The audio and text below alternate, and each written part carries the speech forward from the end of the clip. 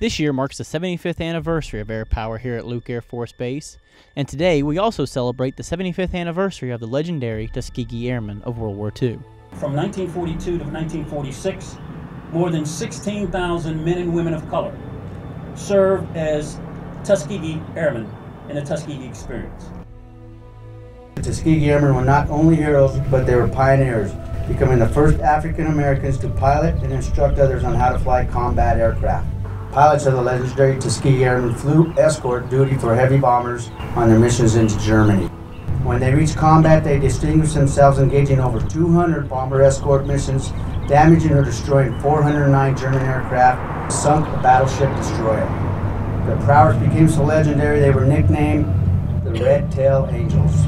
By the pilots they protected, as the red back end of their aircraft were visible while they flew in front of U.S. bombers on their vital missions.